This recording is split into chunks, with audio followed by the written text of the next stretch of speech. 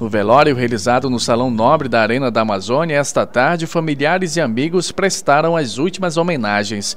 Ozenei da Casa Nova Nogueira, de 57 anos, morreu na manhã desta quarta-feira, após dois dias internada no Hospital Beneficente Portuguesa. Advogada e assistente social foi vítima de um infarto. Ozeneida exercia o segundo mandato como presidente da Associação Brasileira de Recursos Humanos. Ela também foi gestora de capacitação da UGP Copa, onde coordenou o trabalho dos voluntários que trabalharam durante o Mundial na capital. Ozeneida era casada com o ex-superintendente da Suframa Tomás Nogueira e deixa três filhos.